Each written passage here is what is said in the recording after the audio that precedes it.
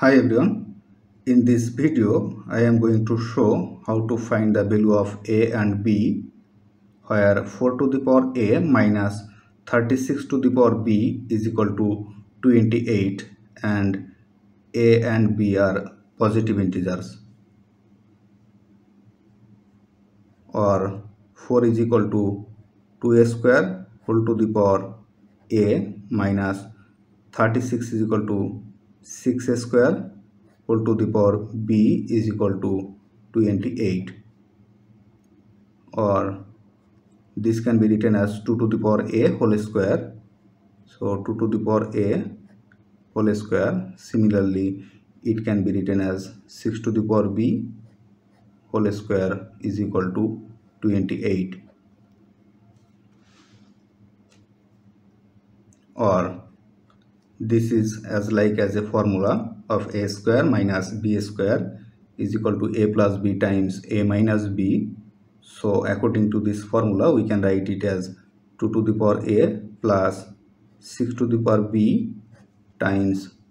2 to the power a minus 6 to the power b is equal to 288 can be written as 1 times 28 is equal to 2 times 14 is equal to 4 times 7. Now 2 to the power a plus 6 to the power b is greater than 2 to the power a minus 6 to the power b and 2 to the power a is an even number and 6 to the power b is also even number. So the addition or subtraction of two even number is always even. So 2 to the power a plus 6 to the power b is even number and 2 to the power a minus 6 to the power b is also even number. So this cannot be equal to 1 times 28 because 1 is not even number. Similarly 4 times 7 is not also possible because 7 is not an even number. So the only possible product is 2 times 14 so as 2 to the power a plus 6 to the power b is greater so 2 to the power a plus 6 to the power b is equal to 14 and 2 to the power a minus 6 to the power b is equal to 2 so we can write 2 to the power a plus 6 to the power b is equal to 14 and 2 to the power a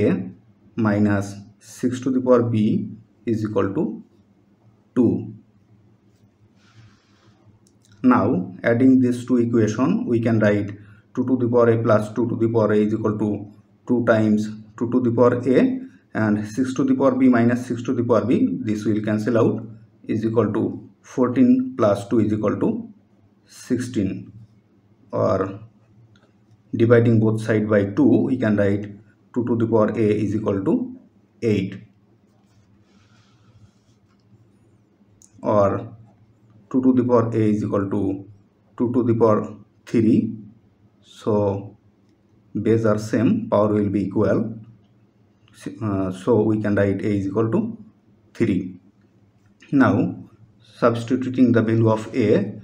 in this equation we can write 2 to the power a is equal to 3 so 2 to the power 3 plus 6 to the power b is equal to 14 or 2 to the power a is equal to 8 plus 6 to the power b is equal to 14 or taking this 8 to right side we can write 6 to the power b is equal to 14 minus 8 is equal to 6 or 6 to the power b is equal to 6 to the power 1 here base are same so power are equal. So b is equal to 1 so the solution is a is equal to 3 and b is equal to 1 this is the only integer solution of this equation. If you like this video please subscribe my channel. Thanks for watching.